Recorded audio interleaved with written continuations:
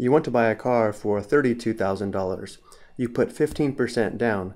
The company is offering a 3.6% interest rate for five years. What will your monthly payments be? What is the total amount you will end up paying for the car? And how much interest will you pay over the entire loan period? We will determine the monthly payments by using the TVM solver as well as the loan formula. To begin though, we need to determine the down payment and the loan amount. The down payment is 15% of $32,000, which means the loan amount is 85% of $32,000. 85% because 100% minus 15% is 85%.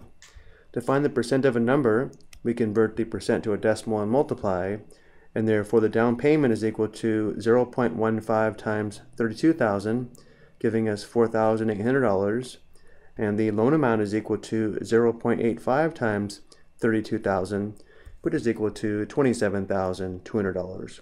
We can also determine the loan amount by subtracting $4,800 from $32,000.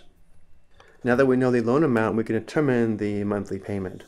Let's first find the monthly payment using the TVM solver. We begin by determining the information required shown here below, where capital N is the total number of payments or compounding periods. Because you're paying monthly for five years, capital N is 5 times 12, which is equal to 60. I percent is the annual interest rate, which is 3.6%. We enter 3.6. PV is the present value or the starting amount of the loan, which is the $27,200. PMT is the payment which we are solving for. FV is the future value or the balance of the loan after the five years. After five years, the loan is paid off, and therefore the future value is zero. Payments per year and compounds per year are both 12. And now we go to the calculator. We press apps, enter for finance, enter for TVM solver, and now enter the information. Capital N is 5 times 12 or 60. Interest rate is 3.6. Present value is 27,200. We are solving for payment. We'll come back to this. Future value is 0. Payments per year and compounds per year are both 12. And we leave the payment on end. So now we go back up to the payment cell and we solve for the payment by pressing alpha enter. Notice it's negative because you pay this amount each month. To the nearest cent, we have $496.03. So now we know the payments are going to be $496.03. Let's also check this using the loan formula.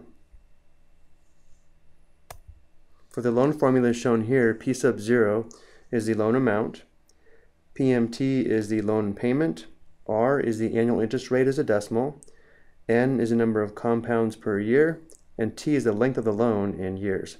Notice how for the loan formula, lowercase n is the number of compounds per year, and for the TVM solver, capital N is the total number of payments or compounding periods over the entire loan, which is equal to lowercase n times t. So we need to be careful about what the n represents. Using the loan formula, P sub 0 is 27,200. PMT is what we are solving for. R as a decimal is 0.036, which is located here and here in the formula.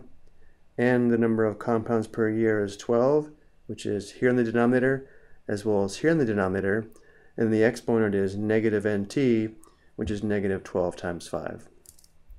And now we need to solve this equation for PMT by multiplying both sides of the equation by the reciprocal of this fraction here.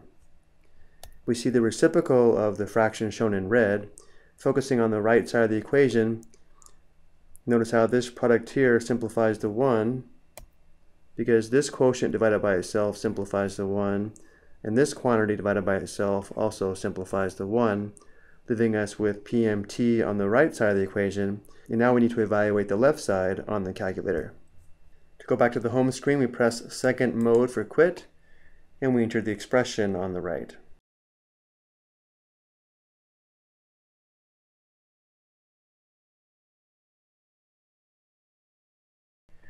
To get out of the exponent position, we press the right arrow, close parenthesis, and enter. Notice how we also get $496.03 for the monthly payment. Next, what is the total amount you will end up paying for the car?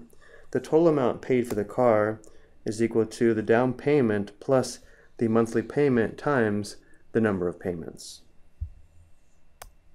The down payment is $4,800 and then we have plus the monthly payment times number of payments which is 5 times 12 or 60. So we have plus 496.03 times 60 and now we go back to the calculator.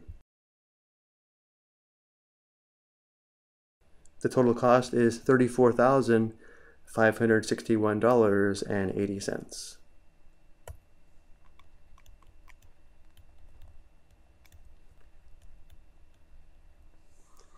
For part C, how much interest will you pay over the entire loan period? There are a couple ways to determine this amount. One way is to take the monthly payment times the number of payments and then subtract the loan amount. Let's first find the total interest this way. So we have the monthly payment of $496.03 times the number of payments, which is 60, and then subtract the loan amount of $27,200. Going back to the calculator,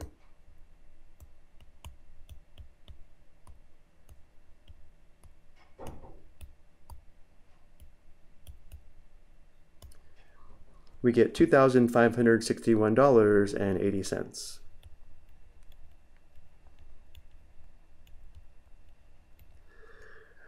We could have also determined this amount by taking part B, the total amount paid, and subtracting the price of the car of $32,000. I hope you found this helpful.